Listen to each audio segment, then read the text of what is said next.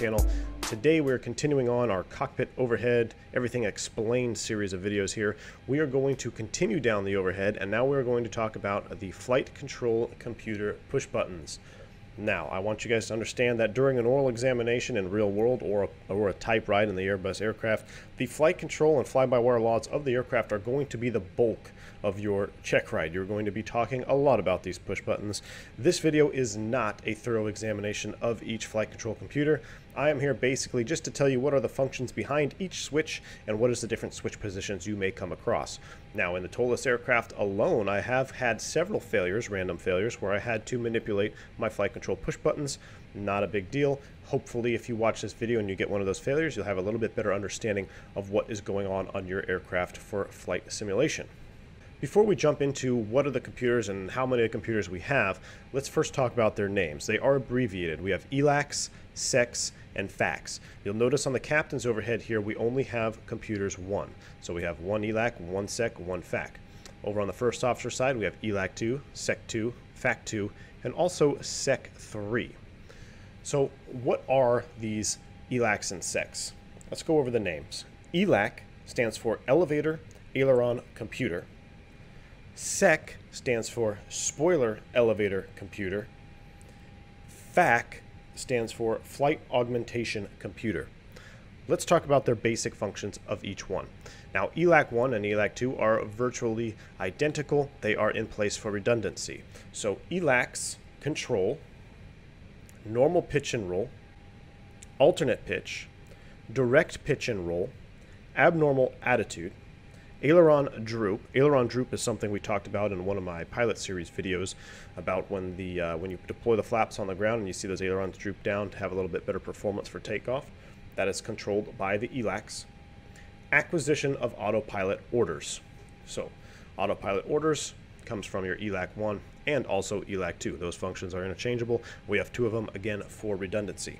Now, as far as switch, switch position goes, you can either have on with the black square or off with a illuminated off light. So these switches, as with all switches on the Airbus overhead, they're kind of, if you don't look at them or not used to them, you may not really see what the actual position of the switch is. That's why it's nice to have this illumination of the off light there um, for the push button. Now you'll notice when I push it back in, I get a fault light. That is the only other display that you can get from this push button. The fault light will illuminate if there is a fault detection within that flight control computer or during ELAC power-up test. So it will last 8 seconds. Now it can also be triggered during a transient swap if it lasts more than 25 milliseconds, I believe. So that a transient swap is, let's say you go from external power over to APU power. Oops, lost a little bit of my lighting there. If you go from external power over to APU power, sometimes you get that click and you get that power transient. Sometimes your ELACs may uh, reboot up and you'll get that um, fault light there. So those are your ELAC computers. Moving right down the line now to SEC, or the spoiler elevator computer. So we have SEC 1, SEC 2. We're going to talk about SEC 3 here in a minute. But SEC 1 and SEC 2, let's go over those.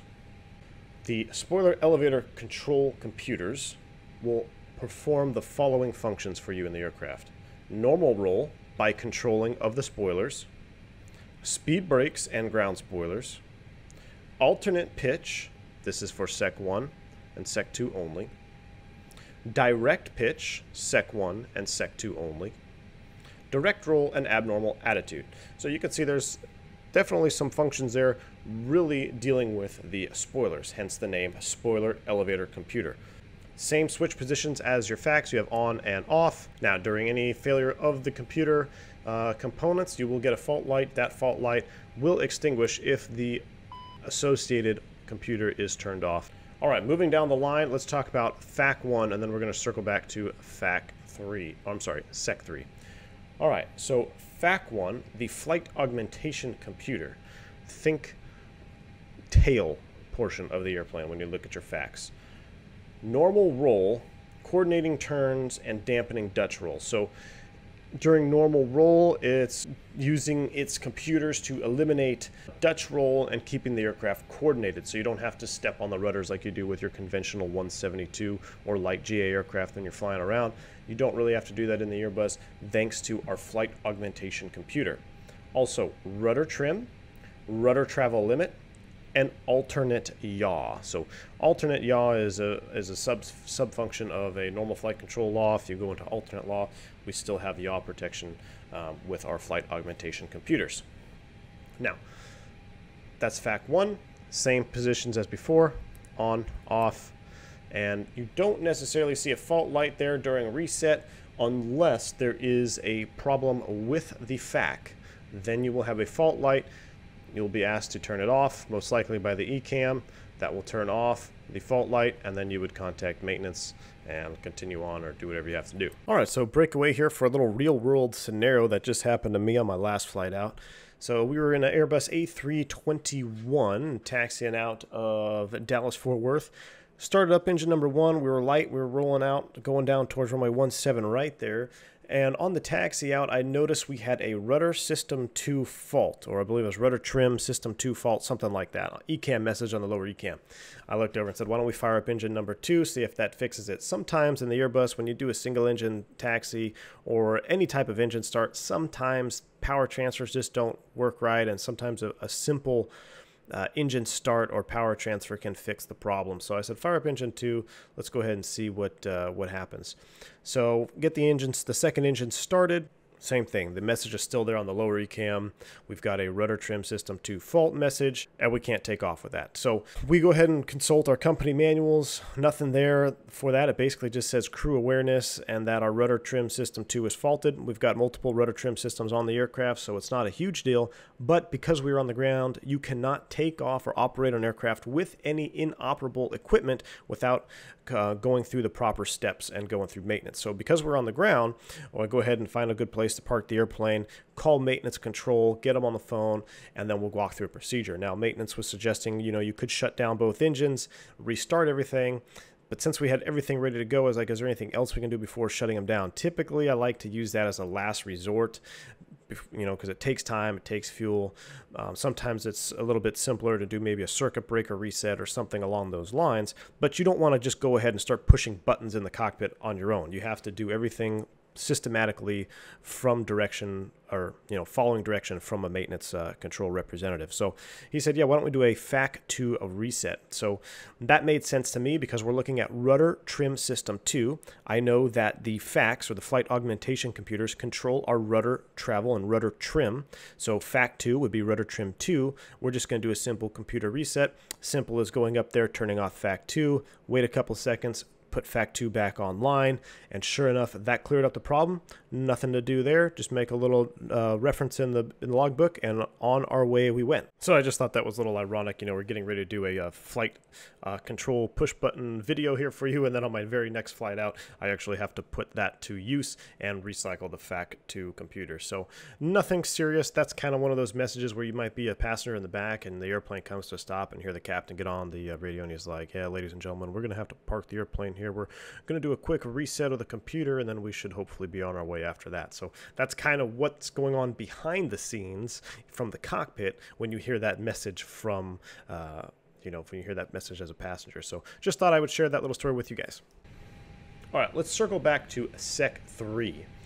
I know we kind of, we talked about all the other ones. We skipped Sec 3. Now, Sec 3 is kind of a special computer when you when we look at Sec 3, I want you to think mostly spoiler control for Sec 3. And essentially what the functions of Sec 3 are normal roll by controlling the spoilers, so spoiler use during normal roll, speed brakes and ground spoilers, direct roll, and abnormal attitude.